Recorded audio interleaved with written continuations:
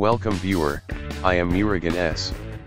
This video tutorial describes, how to fix boot BCD error in Windows 10.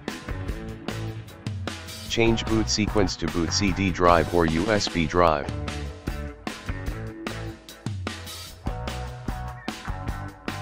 Click Next.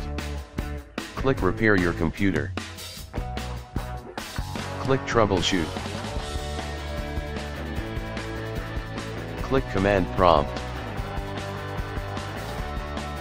Type bcd edit space front slash export space c colon backslash bcd backup.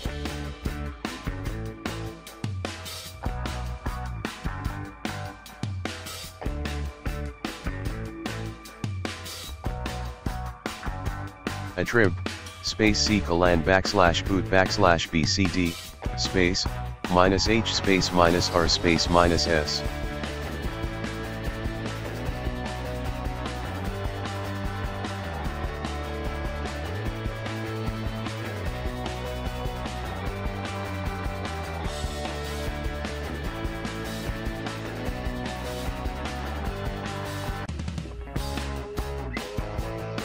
ren space colon backslash boot backslash bcd space bcd dot old.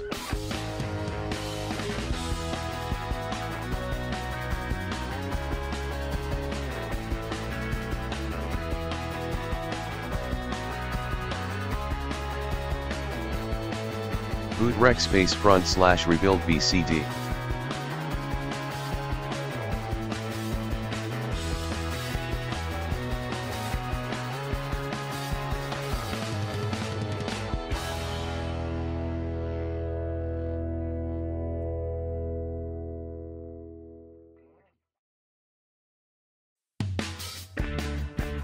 Type Y to continue.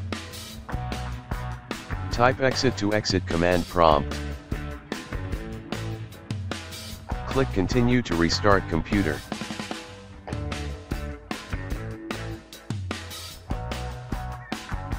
Thanks for watching. I hope, this video tutorial helps to solve the problem. Please like, share and don't forget to subscribe my channel. See you next video.